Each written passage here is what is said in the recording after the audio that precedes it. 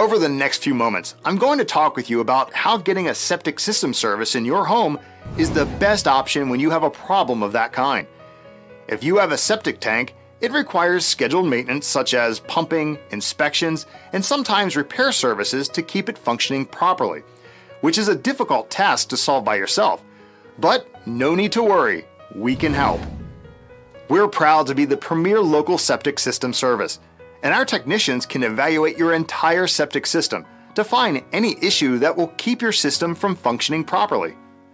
Whether you need your system pumped, repaired, or a new system installed, we can help.